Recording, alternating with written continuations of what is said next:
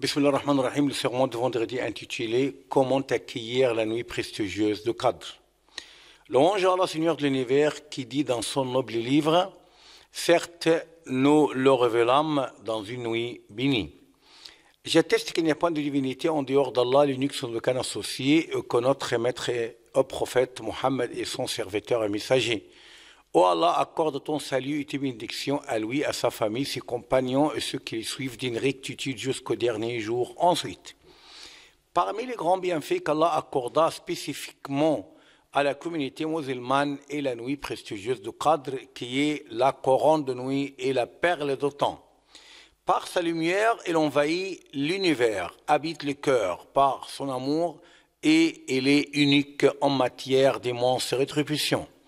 Allah, gloire à lui, l'a fait mieux que mille mois en termes d'adoration, d'actes qui rapprochent de l'agrément d'Allah et de rétribution. Allah exalté soit-il, euh, dit, nous l'avons certes fait descendre, c'est-à-dire le Coran, pendant la nuit d'Al-Qadr, et qui te dira ce, ce qui est la nuit d'Al-Qadr? La nuit d'Al-Qadr est meilleure que mille mois. Durant celle-ci descendent les anges ainsi que l'Esprit, c'est-à-dire l'archange Gabriel, par permission de leur Seigneur pour tout ordre. Et l'épée et salut jusqu'à l'apparition de l'aube. Il s'agit de la nuit, de l'honneur, de la grandeur et de la dignité, au cours de laquelle Allah fit descendre son meilleur livre au dernier de ses prophètes et messagers, en l'occurrence le Coran, notre maître Mohammed sallallahu alayhi wa sallam. Abdullah ibn Abbas, qu'Allah l'agré, lui et son père, dit Le Coran fait descendre un seul coup de la table, de la tablette conservée au cours de la nuit prestigieuse du mois de Ramadan, c'est-à-dire le Qadr, à la maison de la grandeur au ciel, le bleu bas. Puis, Gabriel, salut sur lui, se livra à descendre avec lui périodiquement au messager d'Allah au cours de 23 ans, c'est-à-dire occasionnellement et selon des circonstances spécifiques. C'est bien cette nuit bénie au cours de laquelle Allah, gloire à lui, prédestine les œuvres et subsistance du serviteur. Allah, gloire à lui, dit Nous l'avons fait descendre en une nuit bénie. Nous sommes en vérité celui qui avertit, durant laquelle est décidé tout ordre sage, c'est là un commandement venant de nous, c'est nous qui envoyons les messagers. Parmi les aspects de sa bénédiction est le fait qu'Allah pardonne les péchés antérieurs et futurs de celui qui la veille culturellement parfois et confiance en la rétribution d'Allah. Le privé, le privé est celui du pourvu de la bénédiction et de la grâce de cette nuit. Le prophète, salut bénédiction sur lui, dit Ce mois est venu, il contient une nuit qui vaut mieux que mille mois. Le privé de cette nuit est dépourvu de tous les biens, seul l'exclu est dépourvu de son bien. Parmi les aspects de sa bénédiction est la descente des anges dans ton tête et l'archange Gabriel. Ce pour répandre sur la terre une lumière et une sérénité. Allah, gloire à lui, dit, diront celle-ci descendent les anges ainsi que l'Esprit par permission de leur Seigneur pour tout ordre. Le prophète sallallahu alayhi wa sallam dit, durant la nuit du cadre, et les anges descendent de plus nombreux que le caillou de la terre. C'est la nuit de paix et de sécurité des son début jusqu'à l'aube.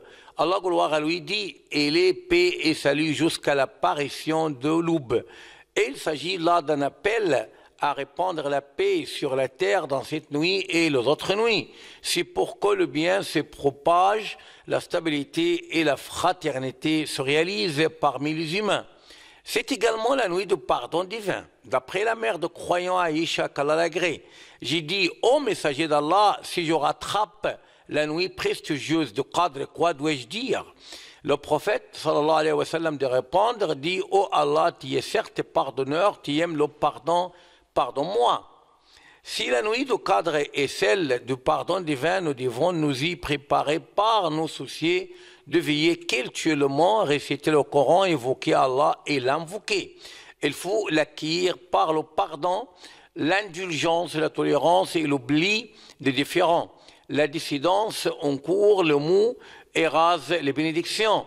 Notre prophète, salut bénédiction sur lui, sorti pour informer de la nuit du cadre, mais deux personnes s'élèvèrent à une polémique. Le prophète, sallallahu alayhi wa sallam, dit, je suis sorti pour vous informer la nuit du cadre, mais celui-ci et celui-là se sont livrés à l'animosité. Là, elle m'était oubliée. Puis s'agit-il d'un bien pour vous Le prophète, salut bénédiction sur lui, dit également, voulez-vous que je vous informe d'un acte à degré plus élevé que le jeûne, la salat et la charité Mais oui, dire-t-il, il dit, sallallahu alayhi wa sallam, c'est la réconciliation, car l'animosité rase les bonnes œuvres. Il dit encore, euh, vous êtes frappés par la maladie de communauté avant vous, c'est-à-dire l'envie et la rancœur. C'est celle qui rase non pas les cheveux, mais plutôt la religion. Je jure par celui qui dit, tiens mon âme, que vous n'entrerez le paradis euh, que lorsque vous serez des vrais croyants. Vous serez des vrais croyants que lorsque vous vous aimez les uns les autres. Voulez-vous que je vous indique une chose, c'est-à-dire un acte que lorsque vous faites, vous serez aimés les uns pour les autres euh, Répondez parmi vous le salut. Louange à Allah, Seigneur de l'univers, que le salut et la bénédiction d'Allah soient accordés au prophète honnête, à sa famille, ses compagnons et ceux qui l'y suivent euh, d'une rectitude jusqu'au dernier jour. Sans doute, la rétribution est de la même nature de l'œuvre. Si nous nous exposons à la miséricorde d'Allah dans ces nuits bénies, nous devons donc avoir de l'interclémence. Celui dépourvu de la clémence ne sera pas traité avec clémence. Les cléments seront enveloppés par la clémence de miséricordieux donc l'interclément, c'est une attitude pratique qui exige la coopération, la solidarité, le fait que notre euh, euh, puissant aide notre impuissant et notre riche euh, soutienne notre pauvre, croyant qu'Allah nous récompensera le bien que nous dépensons. Allah gloire lui dit, ceux qui dépensent leur bien dans le sentier d'Allah ressemblent à un grain d'où naissent cette épi, à son grain l'épi, car Allah multiplie la récompense à qui il veut et la grâce d'Allah est immense et il est omniscient. On a donc très besoin d'exploiter ce qui reste du mois de Ramadan en acte cultuel, déploiement d'efforts, utilité aux gens, quête de la nuit de cadre, aspiration à sa rétribution. Cette nuit, on court à celui qui la veuille une grande place et un honneur de plus euh, auprès d'Allah, gloire à lui il nous vaudrait mieux de prendre de cette nuit une nouvelle ère pour réactualiser le repentir, nous engager d'implorer constamment le pardon, nous corriger les âmes et les forcer de faire les bonnes œuvres et de s'abstenir des mauvais actes. Allah gloire à lui dit, euh, dit, ô mes serviteurs qui avez commis des excès à votre propre détriment, ne désespérez pas de la miséricorde d'Allah, car Allah pardonne tous les péchés. Oui, c'est lui le pardonneur, le très miséricordieux.